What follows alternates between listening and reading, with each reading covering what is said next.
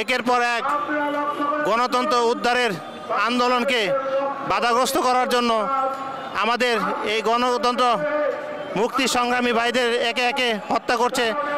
এই শাওনের হত্যার প্রতিবাদে আজকের এই বাংলাদেশ জাতীয়বাদী যুব দলের বিক্ষোভ সমাবেশ এবং এই সমাবেশের মাধ্যমে আমরা হাসিনা সরকারকে বুঝিয়ে দেব, আপনাকে গণতন্ত্র ফিরিয়ে দিতে হবে। গণতন্ত্র আমরা উদ্ধার করবই এবং আমাদের নেত্রী দেশনেত্রী বেগম খালদা জিয়াকে মুক্ত করব এবং দেশনায়ক তারেক রহমানকে আমরা বীরের বেশে এদেশে ফিরিয়ে আনব। এই প্রত্যাশায় আন্দোলন চলছে এবং যতদিন পর্যন্ত সফল হবে, চলবেই।